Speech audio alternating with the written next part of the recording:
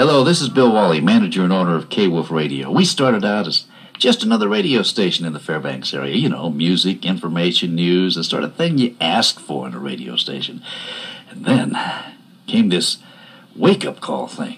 Oh, sure, it started out innocent enough, a song, a laugh, too harmless, you know. Well, that's what I thought anyway.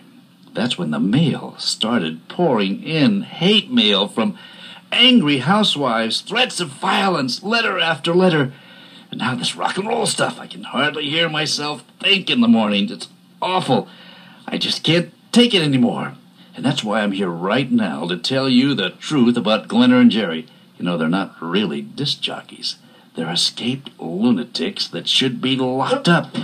They're insane. Okay, They're nuts. Bill, They're Bill, crazy. that's fine. But but but, but it's not too late. Put it down, You Bill. can stop the Get him- grab his legs, Jerry, grab his legs. Get him out. Get his legs. I gotta stop. Stop.